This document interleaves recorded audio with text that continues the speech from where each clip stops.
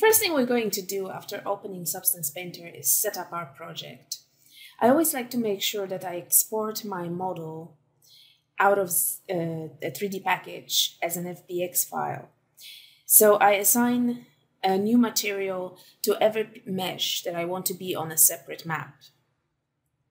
So we're going to create a new project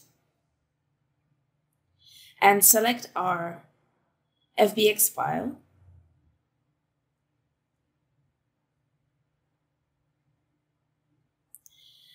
And uh, we'll leave the document resolution at 1K for now. We can always change that later. And in the ma uh, maps, we're going to choose our normal map. Uh, this is something that might surprise you. I don't actually bake my face normal map in any other software other than ZBrush. I feel like the ZBrush normal maps give me the nicest result on the faces. It's not too harsh.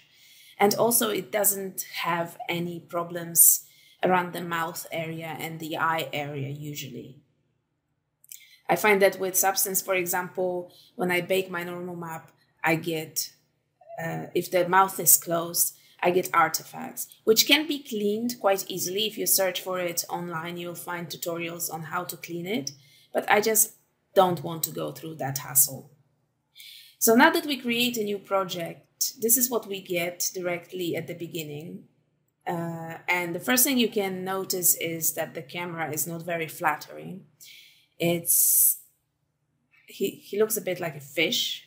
So we're going to change our camera setting and in the field of view, we're going to put, instead of the default 50, we're going to put 15 to make it look a bit more flat. 50 is better for a full body character, but for a head, for a bust, 15 to 20 is much better setting. Another thing is uh, the lighting. So uh, by default, when you open Substance Painter, you get a panorama three panorama uh, environment map, which has color in it. So it's basically a sky with a bit of ground and grass underneath it, which gives the model a lot of blue and yellow tones, which I don't want. I want something a bit more neutral so I'm going to scroll down and find Tomoco Studio. I used to work with uh, Studio 3 as well a lot, but I find Tomoco Studio is slightly brighter. And it's also very neutral, it's black and white. Has a slight bit of color in it, but not enough to affect my textures. And it also has a nice top-down lighting.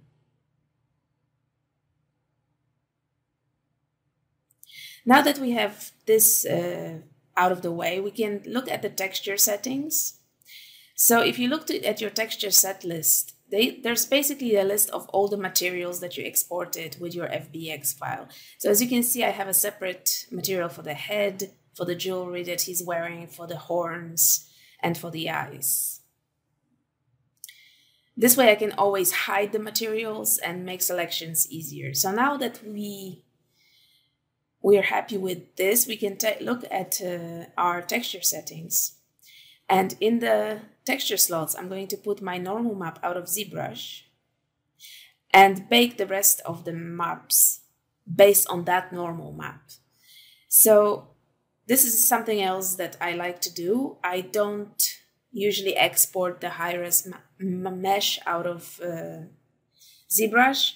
I just use my normal map that I created in ZBrush as a base for the other textures. It may be controversial, but it works. I find it works very well, and I have no problems with it. I don't change any other settings. I just let Substance use default settings and bake my maps. So now you can see all the other texture maps have been put in the uh, respective slots and we'll use some of those maps, especially the curvature and the thickness map, later on in the texturing process because I find they're very useful and give very nice results. So this is the basic setup, and now we're ready for texturing.